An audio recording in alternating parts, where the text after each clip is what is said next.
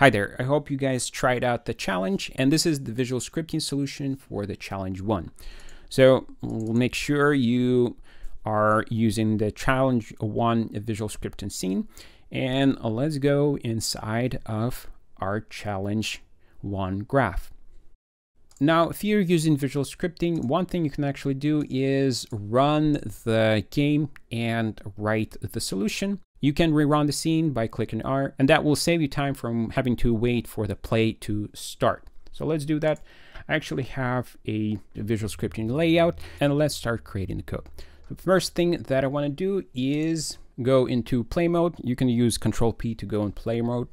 And we're starting with a score of zero, and all of our tests are failing because we're not doing anything in our script. So let's get our enemy to move. And for that, we can use transform, translate. Using this XYZ option is going to be easier for visual scripting. So let's use that. And in here, all we have to do is pass the speed that we want to move in per second. And the front of our enemy is in the X direction. So that is where we want to pass it. Now, if we connect that on update, you can see that our enemies are moving and we actually pass two of the tests, one and two, for the movement test and the speed test. Now the test three and four are rotation. So let's rotate our player and make sure that when we're moving that the bottom enemy is actually going to be moving towards the waypoint. I already provided a way of getting the first item from the waypoints. So we're actually going to use that and calculate the direction that we want to move. The easiest way to set the direction in Unity is by using transform right, up, or forward. Our front direction is actually right, so that's what we want to actually set. So transform set right, and in here we want to pass in the direction vector. The way you can calculate the direction vector is the difference between the point where you're trying to move and the point that you're currently located at. Now the point that we're trying to move is the first waypoint, which we get right here. So we can get the position from this transform object. And from this transform object, we can subtract our current position. So let's get position of our current enemy. And this is going to be the direction vector, and we can pass it as right. So if we set that and refresh it, you can see that our bottom enemy is actually facing towards the first waypoint. Now if we connect the translate, it's going to start moving the character towards that. Once the enemies uh, reach the first waypoint, you can see that it's stuck there because it's always trying to move towards that waypoint. So now the next challenge is to actually increment the waypoints and make sure once we reach that waypoint, we move towards the next one. Let's move these nodes around to make it a little bit cleaner. And now we need a way to check if we have reached the waypoint. So we already have the difference between the waypoint and the current position.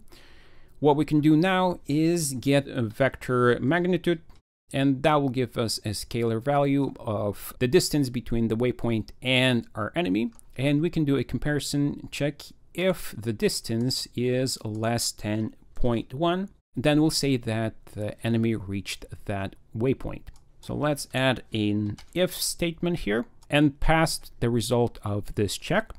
If that is true, then we want to move to the next point. And since we are using uh, the index variable here to retrieve the current waypoint, all we have to do is increment the index by one, and that's going to look for the next waypoint. So I'll get the current one, and we want to add a scalar of one, set that as the new value, and we want to do that once it's true. And you can see that our bottom enemy just continues through those waypoints. Now we have successfully passed all of the tests except the seventh one. And the seventh one is checking if we destroy the enemy once we reach the end. Also, if you take a look at Unity, you can see that there is an error that we're getting, and it is the index was out of range. The reason why we're getting that is because we have incremented the index and it has reached the end of the list that we have and it was trying to access the next item and that's what's creating that index out of range. So what we have to do is make sure that we never execute this code if our index is higher than what's available in our array. And we can actually use the same check to see if we have reached the end. So that works great for two of our purposes.